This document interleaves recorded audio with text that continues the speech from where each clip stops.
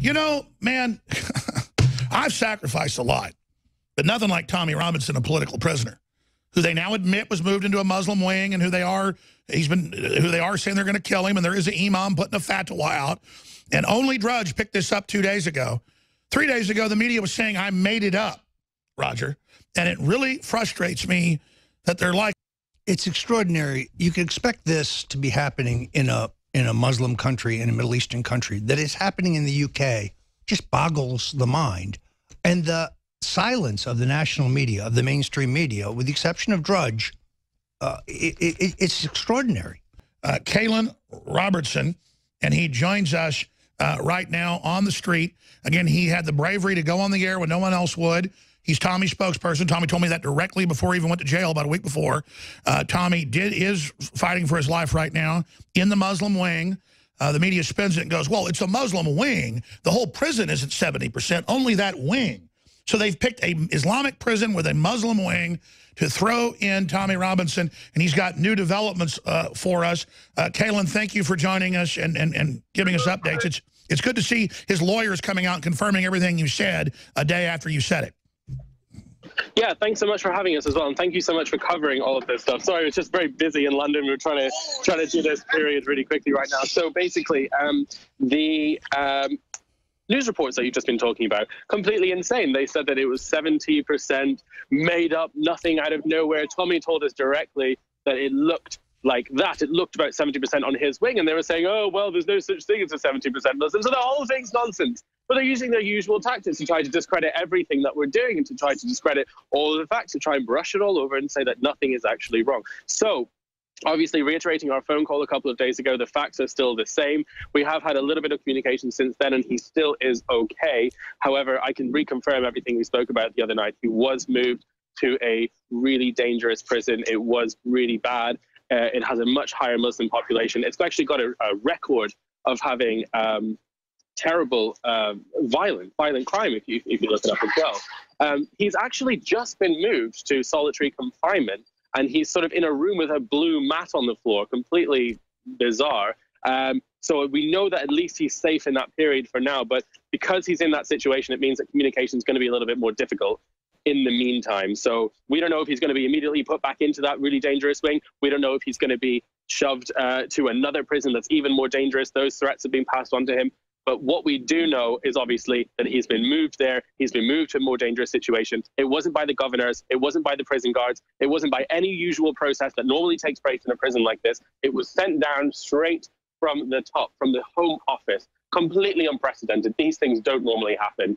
Um, and that's why we've got so many people now writing to the Home Office, so much pressure from people in America trying to say, what on earth are you doing? You're basically putting someone in the firing line with direct orders from the top. It doesn't make any sense. And those are the, are the new developments. And that's the bombshell news. It's up on Infowars.com. Thank God Drudge linked to it last night. Order to send Tommy Robinson to heavily Muslim-populated prison came from the top activist safety and danger as a result of high-risk status being removed from his file. Uh, and now you say that they've thrown him back in solitary confinement, which is more cruel and unusual punishment for reporting that there was a trial on Muslim grooming gangs, which even the media reported on. They said he reported on the trial itself. And so 13 months in the Islamic wing, a certain death sentence, or 13 months in solitary confinement, silencing him, being able to talk to you every few days. Uh, so I guess you haven't been able to talk to him since you talked to him uh, on Tuesday and, and, and gave us that emergency message.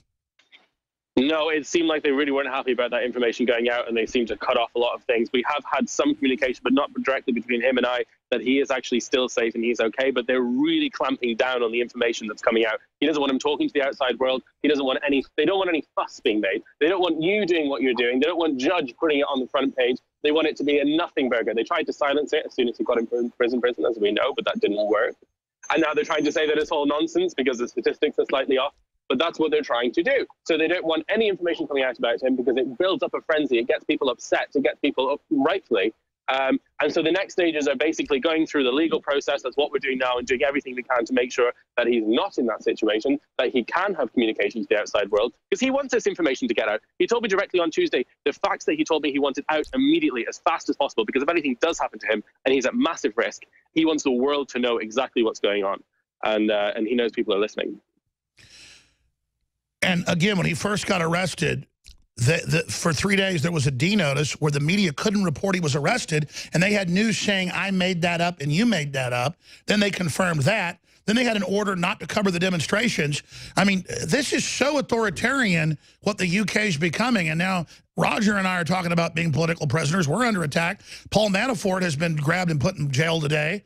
I mean, this is really wild oh, people don't seem to realize that it's going to happen to them next. It's bizarre because it's Tommy and because he's perceived as extreme. They think, oh, of course he's getting thrown away. He, he looks a little bit rough, doesn't he? He looks like he'd be capable of that. But after Tommy, it's going to come for you. It's going to come for everybody else. It's going to come for people in the middle. It's going to come from anyone who's even slightly dissident and who has said anything even slightly against the government or the PC policies or, or anything that's been going on in the last sort of 10 years in Britain. And they don't realize how creeping this process is and how slow and how creeping it is and they don't care. It's so blatant as well they'll just make him disappear. One second, Tommy's on the street bringing the facts. He's got millions of views. He's in the public spotlight. The next second, he's in a room for 23 hours a day on a mat on the floor. They make people disappear within seconds, and they can still get away with it. Well, just about. We'll see what's going to happen soon, but um, it's uh, it's it's absolutely baffling how blatant and open and in the open. All right, let's talk about what we can do and, and, and just the, what's happening in the UK when we come back. Go ahead.